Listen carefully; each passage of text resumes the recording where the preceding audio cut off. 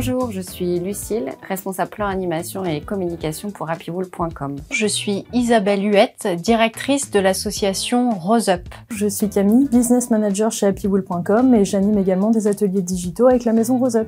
Le choix de travailler avec euh, Rose Up a été comme une évidence pour nous. On se sent forcément euh, impacté. On est très fiers d'avoir mis en place un atelier pour les grandes débutantes, un autre pour celles qui veulent se perfectionner. Ces ateliers de, de trichothérapie à distance euh, aident vraiment ces femmes dans leur quotidien, leur permettant de créer du lien entre elles, remédier à leurs troubles cognitifs et leurs difficultés de, de concentration, mais aussi de, de les aider dans ces petites raideurs qu'on appelle des neuropathies. Vraiment, le partage et la transmission, c'est des valeurs qui nous sont communes. Puis grâce à cette euh, transmission euh, de votre savoir, eh bien nous, on retrouve notre mission qui est celle d'autonomiser ces femmes, de les rendre actrices euh, de, de leur parcours.